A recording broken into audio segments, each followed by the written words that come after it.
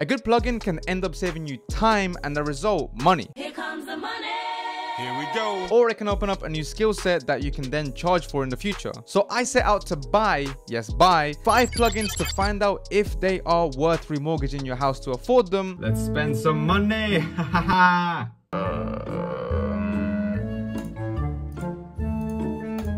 Alright, let's fucking buy this bad boy. That's so expensive. or if it's worth just getting for free by going to www. With that being said, let us begin. This first plugin automates 90% of having to keyframe your movements so you can do stuff like this, like this, if you're doing tutorials or whatever and it just saves you so much time and it's called drag zoom pro which was first shown to me by PiXimperfect, and it completely replaced the need for me to even go into the effects control panel and do these zoom in things. I don't need to do them anymore. Thank god because that process sucks. It's clunky and i hate it. Whereas this i can literally just refresh the screen zoom in and i can choose to have motion blur or i can choose to have the keyframes be eased in. And i can already hear you davinci resolve users screaming because you guys have a similar thing, but go away, go away. And not only that, it has a memory so you can redo movements you've already done over and over again, saving you even more time. And because it's such a big time saver, this one gets 5 out of 5 clocks. The next plugin is great if you have an 8-bit color camera. When you start to color grade it and push the colors, they look like this, all muddy and disgusting. The plugin is called Neat Video. Now, I purchased this a long time ago before AI plugins like Topaz Video Labs came out, and this thing is amazing. It's one of the best noise reducing plugins out there. It's better than, than the native one that Premiere Pro has. You can actually select the area that you want to remove the artifacts or the grain from, and it makes it it look mwah. This is a shot beforehand that I filmed and this is after with the Neat Video plugin. I mean, that's just, that's crazy. It looks like I shot this on a higher end camera, which is insane. Not only that, you can add sharpening and it's just perfect. I've used this for all of my projects. In fact, I am actually using it less because I'm using Topaz Video Labs just because it does a whole lot more than just denoising. It, it, makes things appear that weren't there before, but that's a different story. It's actually more affordable than Topaz Labs. Plus, if you're shooting at like 120 FPS in low light conditions, this thing just, oh, makes it look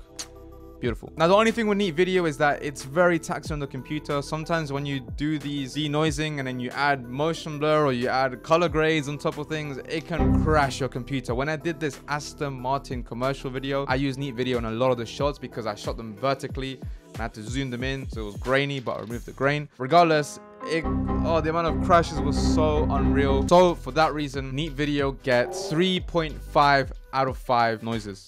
Good plugins can also help you level up a skill that you didn't have before and were not previously able to do such as color grading. Now everybody knows premiere pro's color grading features are ass and I can see all you DaVinci Resolve users rolling your eyes. But when I purchased Cinemagrade, that's where things absolutely changed. Cinemagrade is such a great plugin for Premiere Pro to do color grading. Forget about DaVinci, honestly, just forget about it. It can go away.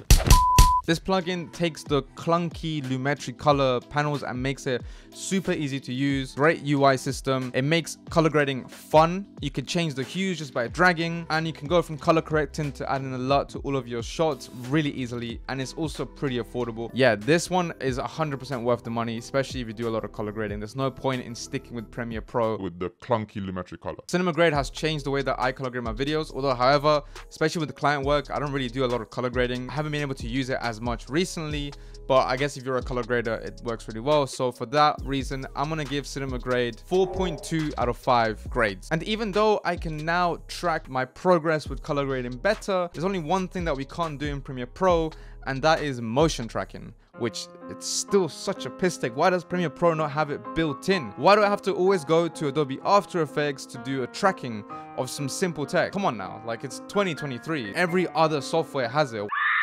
Well, I can sit here and complain, or I can just purchase Boris Mocha Pro. It allows me to natively motion track things. When I track this icon onto my head, it allows me to track things to walls. It's so much easier than having to go into After Effects. I don't want to cut the flow of creativity by going into another software. It also helps you with masking things out. Is the whole Mocha suite inside Premiere Pro and it works really well. It just opens up a brand new window. You can do your stuff and then you close it and it just works with Premiere Pro. And it doesn't slow down Premiere Pro because once you do all of that stuff, it's kind of baked into the shot, which is really nice. Now, this is quite an expensive plugin. You do make it back if you're doing a lot of client work, etc. And you can always expense it if you have a company. And yeah, After Effects comes with Mocha Lite, but again, like you have to go into another software. That's so long. Now, Boris FX Mocha Pro has been a game changer, and I will literally I have no regrets buying this one. It's been great with it. And as a result, Boris FX gets 5 out of 5 Boris's. AE Juice. What's great about AE Juice is that it has all of these effects that you can literally just drag and drop built into Premiere Pro and as well as that Adobe After Effects. In fact, for one of my clients, DMS, I do this effect here with the text that's all from Juice and it's super easy to fix. And what I love about it is that sometimes when you have all these packs from different places they can all get mixed up and muddled in whereas Juice has its own built-in platform inside the software that you can just sign in access and you can access all of the packs that you've purchased from there. It's like going to a B&Q and having different effects to choose from. It's great. I love it Another plugin that I love was the best purchase I ever made was ReelSmart Motion Blur. Ever since I started doing these speed ramps, I started doing anything with motion graphics that needed motion blur. Built into Premiere Pro, I've used RSMB. Of course, you can open things in Adobe After Effects and add pixel motion blur or whatever, but that's so long, man. I swear, I hate that's such a long process. I'd rather just do it inside one software. And with RSMB, I've been able to do it. It's been great. RSMB has been a game changer to my videos. However, it is very taxing on Premiere Pro. Premiere Pro and RSMB be just like it struggles a lot with rendering and I get a lot of crashes and it's so annoying. As a result, RSMB gets 4 out of 5 motion blurs. Now, the craziest expense that I have done in video editing was purchasing the Red Giant VFX suite. That was when the money came out of the credit card, I was like, please accountant, allow me, I'm sorry.